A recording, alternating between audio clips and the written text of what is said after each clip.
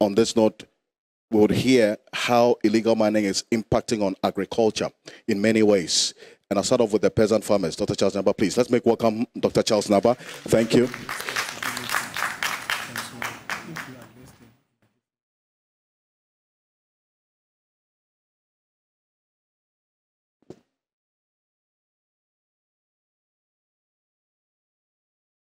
Good morning. I thought uh, with this uh, important national issue, I would have been given uh, more time to to deliberate, but I've just been informed that I have uh, five minutes. Um, I want to first of all thank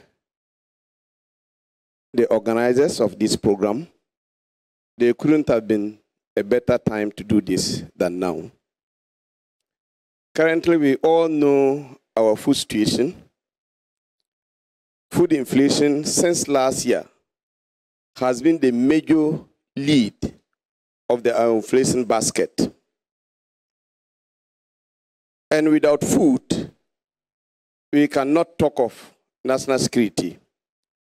We cannot all be sitting here. If you look at all the mining areas or Galamsey operating areas, the same areas are known for our major food basket um, in some years ago. But today we cannot talk of that again. All this can be attributed to Galamsey. We have a lot of uh, outgrowers outgrower farmers who produce various type of food, maize, cassava, rice, in northern part of the country and in Volta region. Today, when you go there, you will never get the youth who will be interested in being part of agriculture again. Majority of them move to Galamsey operating areas because they get quick money.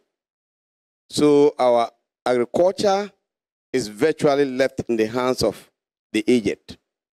So that is one area that we need to pay attention to. When you go to the main Galamsey operating areas, like Prestea, Obuasi, Amansie in the Asante region, Bogoso, and many other places, major crops that we used to get from there. For example, if you take Obuasi some years back, we used to get the sweetest citrus and other oranges from that place. Today, when you go to Obuasi, they have to depend on importation of citrus from other areas. Cocoa is our major cash crop. We had the highest cocoa in the um, yields and productivity in 2021, around um, 1 million metric tons. Today, it's about 580,000 metric tons. And I'm not a prophet. I can bet you what is going on if this will continue. In some few years to come, we will not have any cocoa to export. You take cassava, maize, most of the Galamsey growing areas were known for supply of cassava and maize. Today, they all have to depend on other regions for this commodity. So the issue of Galamsey and its effect on food production is something that we cannot doubt it. It's not something that anybody can debate. Last week, um, I was fortunate to, to be part of a team that uh, the Ministerial Committee on Galamsey were engaging. We met the small uh, scale miners. We told them clearly because they said our call for ban on all form of galamsey or small scale mining was going to throw about one point something million of their members out of business. We have over 2 million smallholder farmers, majority of whom are peasant farmers. Uh, Forestry Commission released a data that about 1.5 million of those farmers have lost their farmlands. And now some of them have joined the Galamsey activity and others to migrated to other areas. So it means all those people have lost their livelihoods. This is a, a priority of, a, uh, of the nation. Do we want to maintain the 1 million smallholder um, miners who are destroying our water bodies, who are destroying our farmlands, who are causing harm to the environment? Or we want to maintain our food security and ensure that we have clean drinking water, we have quality food that we cannot be eating and be afraid that we are taking mercury. According to World Health Organization, mercury causes a lot of damage to the farmers themselves and the galamseyers because one it finds its way into your body. There's nothing you can do. It's a metal. It's unlike other things like um, other chemicals that you say, okay, with time it will be digested. But today, go to galamsey operating areas. Majority of them, about 90%, who do the um, who mine in the rivers are using mercury.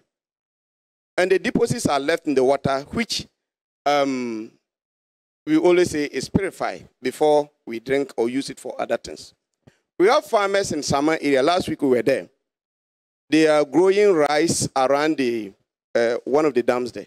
According to them, if they use the water to uh, irrigate their farms, it actually affects the yields. So if they, the, the crops are even drying up and then they allow them and the rainwater come, those crops are different from using water from the river.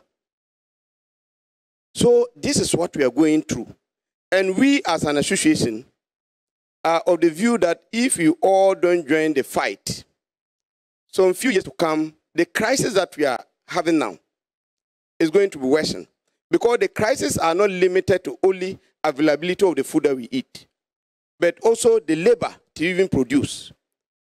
Some farmers gave us testimonies that in some of the areas, even if you don't want to sell your cocoa farm, the chief and the miners will go and do negotiation and they'll give you 1,500 Ghana cedis for a plot. If you don't agree, before you realize all your neighboring farms are being mined and then they will even dig pits, you won't even get access to your, your farm. So you have no option than to also release your farm.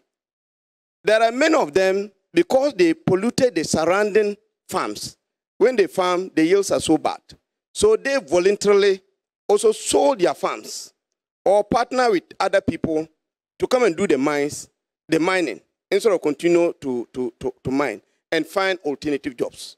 So it means in few years to come, all those mining areas, we are not going to have any agriculture activities taking place. People are talking about reclaiming the, the, the lands. To be very honest with you, that reclamation project is not working.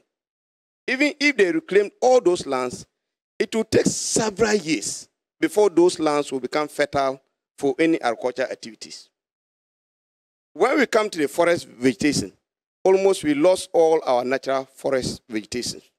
The recent climate change that we have experienced, which people are talking of drought spell, which destroyed almost about 60% uh, of farms in northern Ghana, Bono region, and part of the forest area, can partly be attributed to the way we have destroyed our forest lands for Galamsey activities. So in terms of impact of Galamsey on our food security is something that we cannot be measured. But the impact, at least for now, uh, there are many who think that we are exaggerating the situation.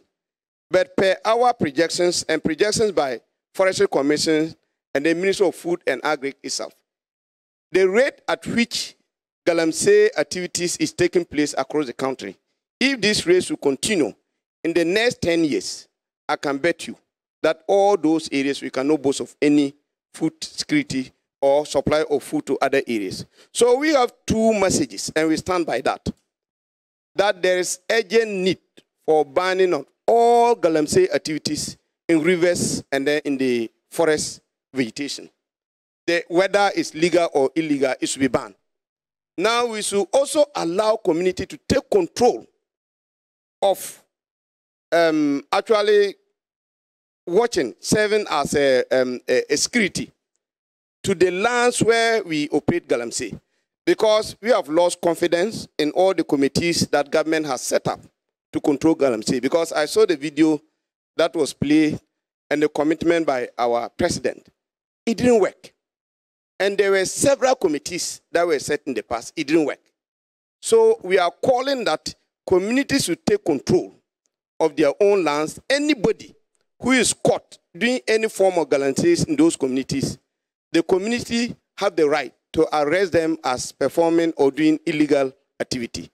So um, once again, since I don't have enough time, uh, I want to thank you again, and that we stand by you, whatever position you take, that will help either address or stop this menace. The Peasant Farmers Association of Ghana will always support you. Thank you so much. Thank you, Dr. Charles Nyaaba. And rightly so, we're using our hashtag use your voice. Use your voice because silence is not an option anymore while we continue to die as a result of illegal mining. We're all seeing the threats that we're faced with.